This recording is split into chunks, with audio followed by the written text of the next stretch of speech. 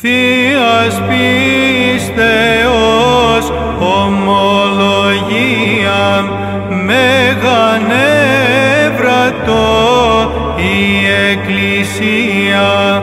Ζηλωτήν σε Θείε μάρ και πανέφημε.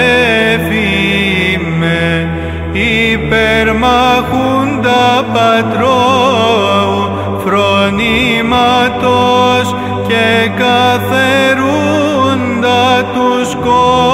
τους υψώματα πόθεν αφέσει Χριστόν των Θεών οικέτευε δωρήσαστε ημίν της εγερερούση